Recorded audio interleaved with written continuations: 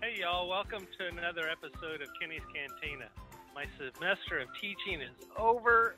Another one for the books. The leaves are finally out here in Pennsylvania. Man, it took a while.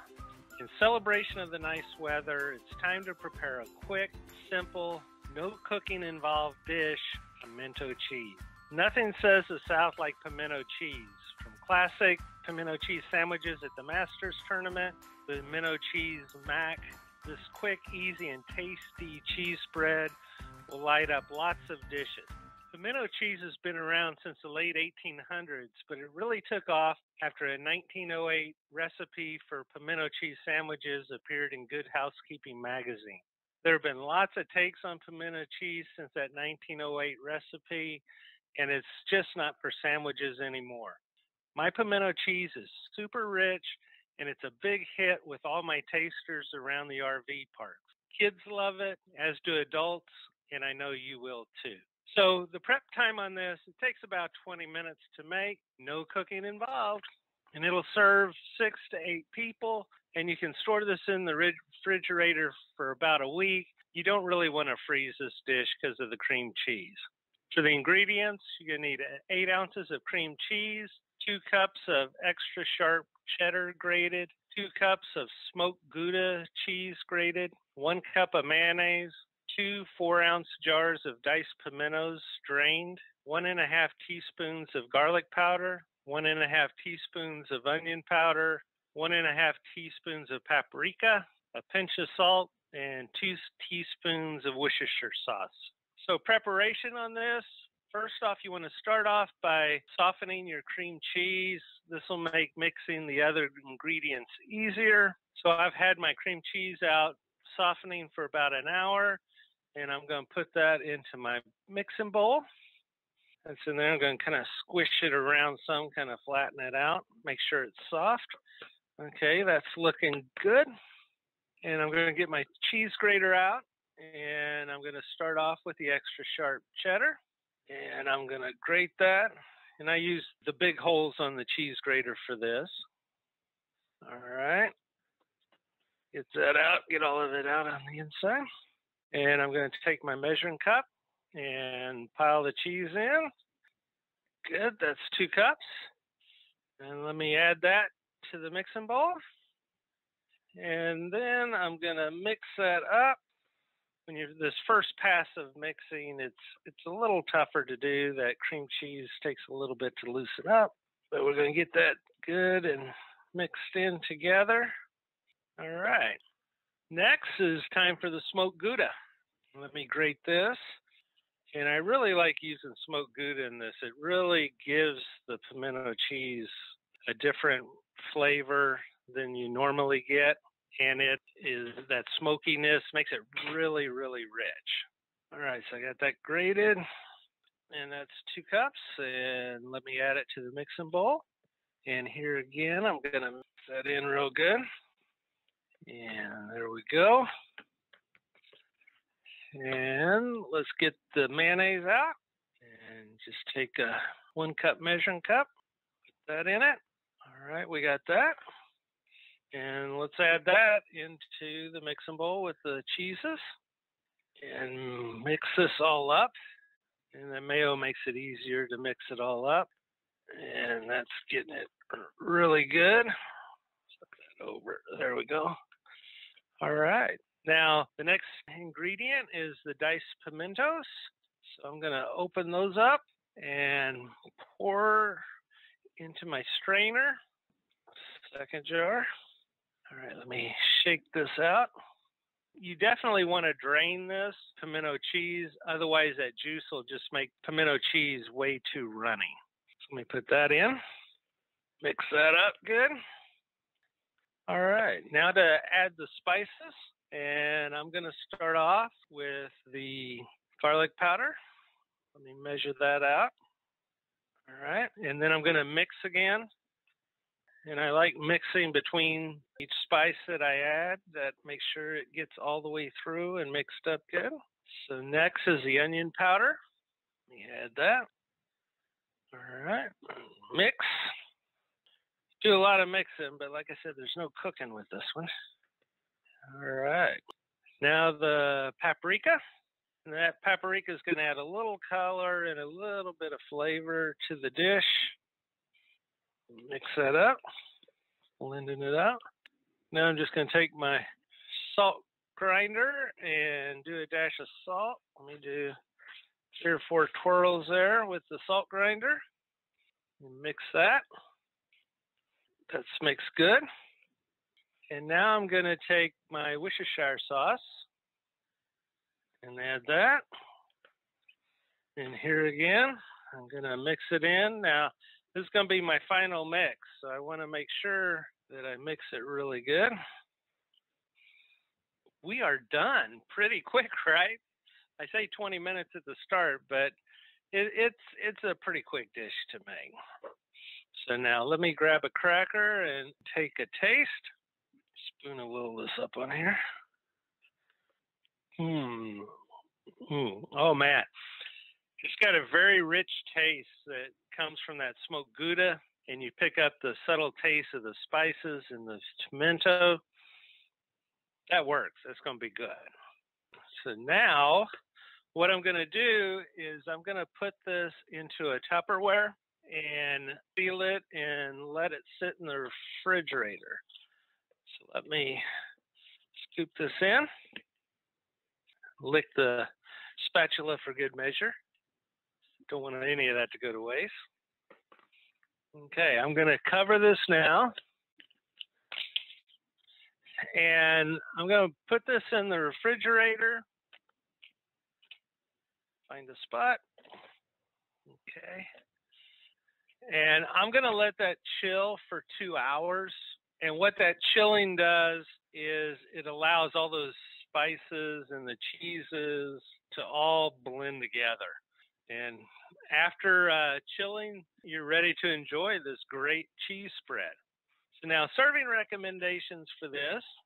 You can serve this as an appetizer on crackers. It's a great snack. I like it on a pimento cheese sandwich.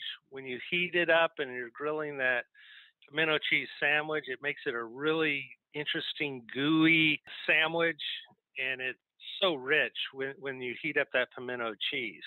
You can also liven up a bacon burger for rich, cheesy taste. I recently had a buddy over and I we cooked burgers and we used the pimento cheese on that. His comment was, "This is the best cheeseburger he's ever had."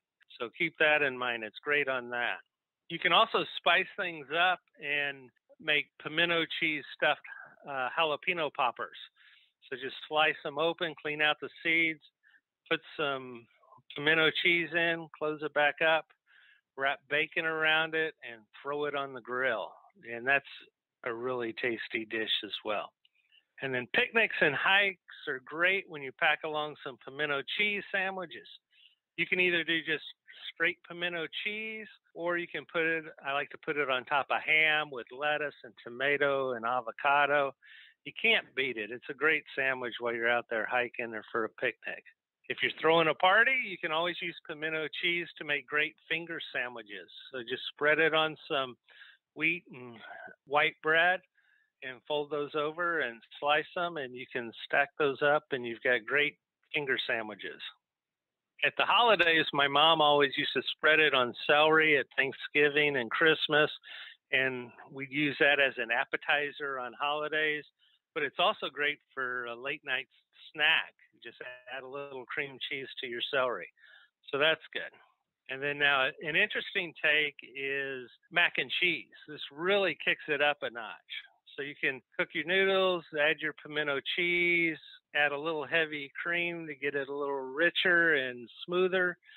And then what I like to do is throw in some bacon bits for some added flavor, and that is really good.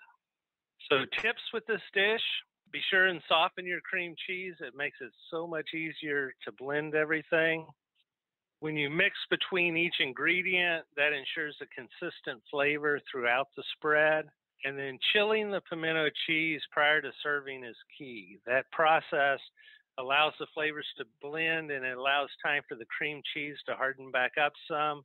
This makes for a ro- more robust, thick spread I recommend at least two hours. Overnight is better, so make it up a day ahead of time.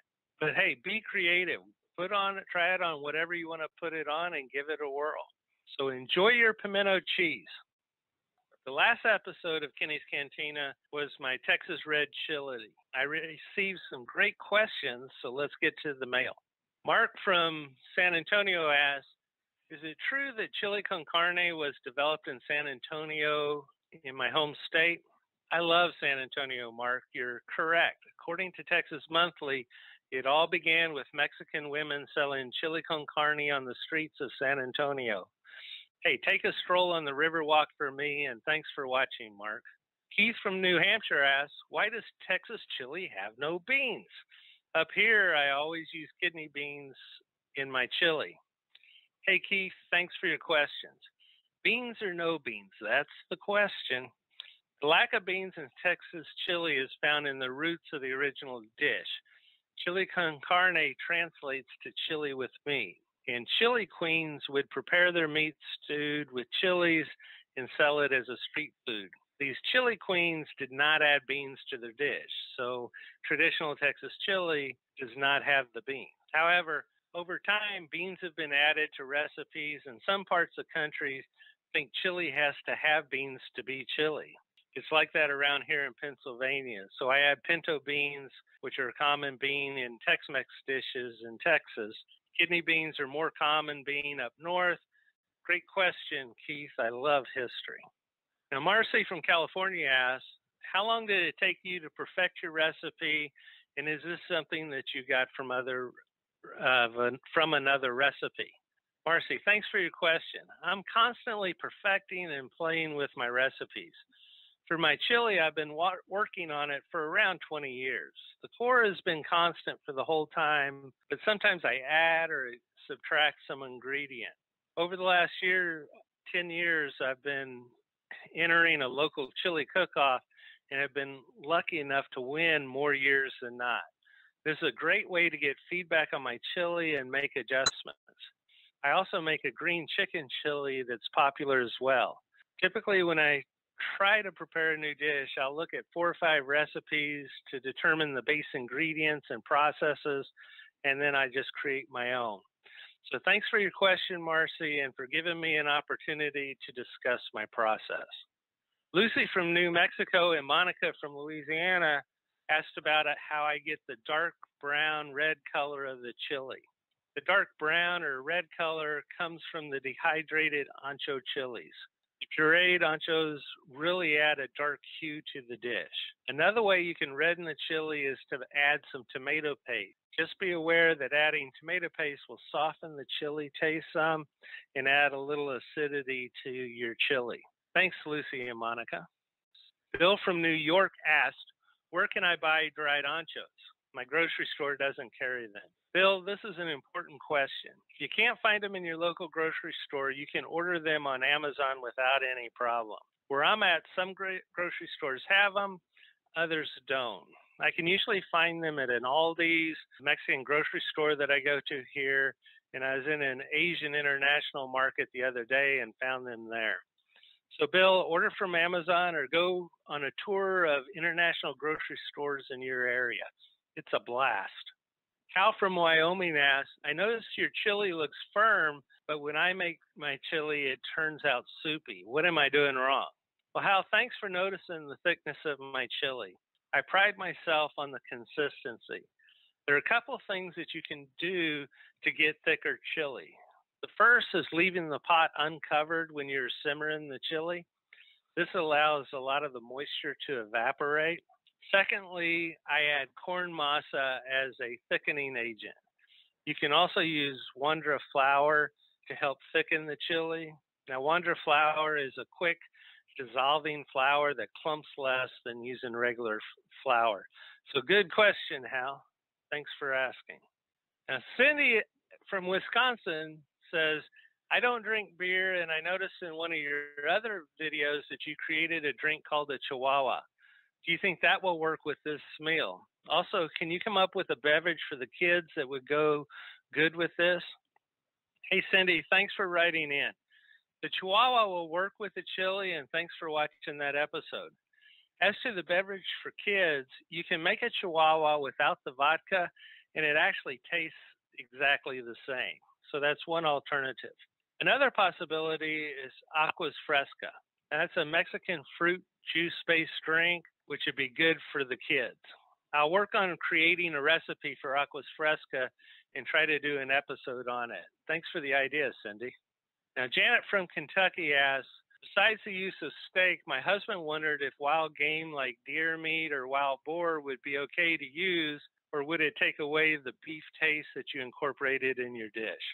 Janet, venison makes great chili. I know some people, they only make chili with venison. I'm not familiar with wild boar, but my research suggests that that'll work as well. So give it a try and let me know how it came out. Thanks for your interesting question, Janet. Uh, Jessica from Brazil asks, our native hot pepper here is called the Malagueta pepper, and we use a lot of Capsicum frutescens, which is a type of chili pepper along with some African spices. Just wondering if you've ever used or heard of these spices. If I use what we have here, would it taste much or maybe spicier than your dish?